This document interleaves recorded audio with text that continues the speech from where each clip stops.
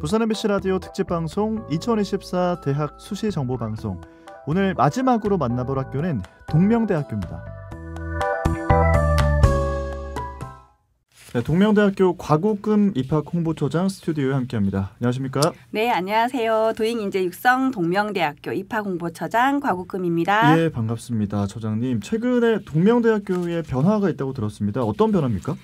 올해는 지난해에 이어서 동명대학교의 가장 큰 변화를 well life 특성화로 저희가 내세우고 있습니다. 어. 보건, 뷰티, 반려동물 특성화를 전면 내세웠고요. 예. 뿐만 아니라 2024학년도에는 응급구조학과, 게임 그래픽학과, K스포츠 태권도학과, 축구학과, 창업학과 등을 신설했습니다.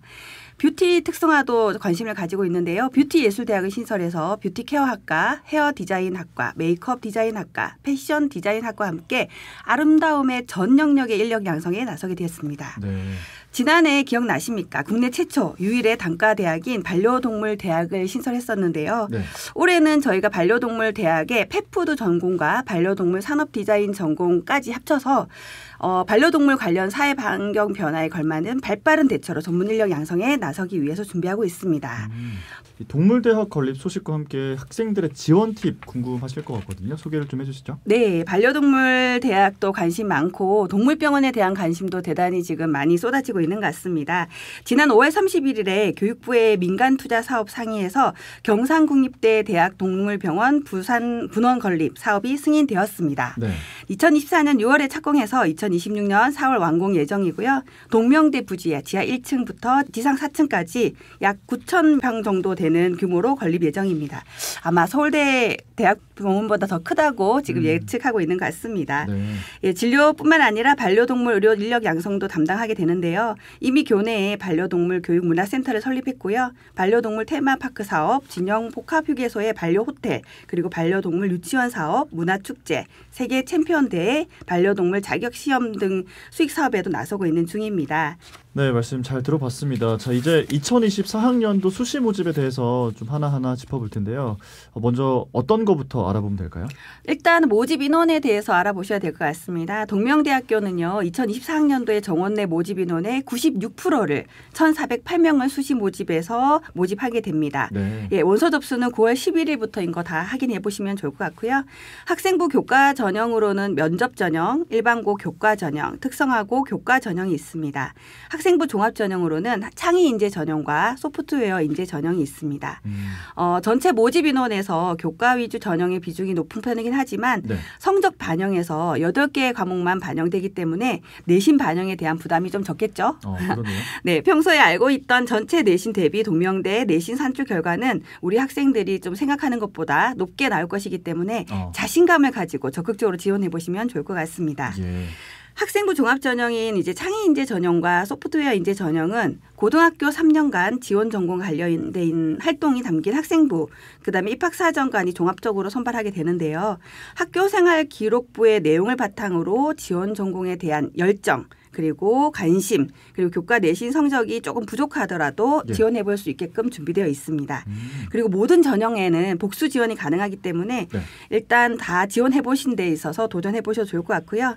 간호학과를 제외하고는 전 모집 단위에서 수능 최저 학력 기준도 적용하지 않으니 용기를 내 보시면 좋을 것 같습니다. 아, 그러니까 모든 전형 간에 복수 지원이 가능하다. 이 네. 부분 기억을 좀 해주시고요. 네. 어, 다음 질문을 드리겠습니다. 동명대학교는 취업률 그리고 스포츠 문화예술 분야에 두드러진 활약상도 자랑을 하고 있다고 들었거든요. 이 부분도 좀 짚어주시죠. 네, 어, 최근 뉴스에 이제 검색을 하면 입학 홍보 부분에 있어서 대부분 대학들이 취업률 1위 이렇게 네. 다 홍보가 되고 있는 것 같아요. 음. 일단은 기준을 잘 확인하셔야 될 것 같습니다. 네. 동명대는 최근 공시 취업률이 졸업생 1000명 이상 부산, 울산, 경남 사립대 중 1위를 기록했다는 신문 기사가 나와 있습니다. 2022년 대학 정보 공식 기준 취업률 66.2% 명실상부한 취업 명문 대학으로 인정받았다라는 것을 한 번 더 강조해 드립니다. 네. 스포츠 문화 예술 분야 관련해서는 최근에 언론에서도 대단히 관심 많이 보여주고 계시는데요. 동명대는 부산시가 지원하는 2023년 지역대학 비교과 과정 예체능 활성화 지원 사업에 선정되었습니다. 그래서 요트라든지 그리고 K 스포츠 태권도라든지 뮤지컬 음. 그다음 그다음에 AI를 통한 이제 프롬프트 고도화 체험이라든지 네. 블렌더 AI 체험이라든지 다양한 활동에 지금 돌입하고 있는 중입니다. 네, 이제 이어서 면접과 실기고사에 대한 질문을 좀 드려야 될 것 같은데 학생들이 어떻게 준비를 하는 게 좋을까요? 네, 이제 학생들의 경우는 면접이라는 단어에서만으로도 대단히 부담을 가지는 것 같습니다. 네. 동명대학교는 부담 없이 좀 학생들이 간, 간단하게 준비할 수 있도록 항상 노력을 하고 있는 대학이라는 것도 강조해 드립니다. 면접 전형의 경우는 학생부 성적 80%에 면접 20%, 내신 성적에 자신이 좀 없는 친구들의 경우에는 네. 면접으로 만회할 수 있는 기회가 있다고 보시면 될 것 같습니다. 어. 면접고사 방법의 경우에는 지난해와 마찬가지로 비대면, 네. 영상 녹화 및 업로드 방식으로 진행이 됩니다.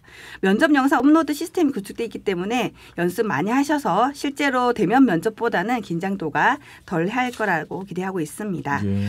어, 실기 전형의 경우는 스포츠 재활학과의 경우 메디신 볼 던지기, 네, 제자리 멀리 뛰기, 지그재그 run 세 종목 체력 실기를 하고 있고요. 네. 시각 디자인 학과의 경우는 사고의 전환, 발상과 표현, 기초 디자인 세 과목 중 한 과목을 선택합니다.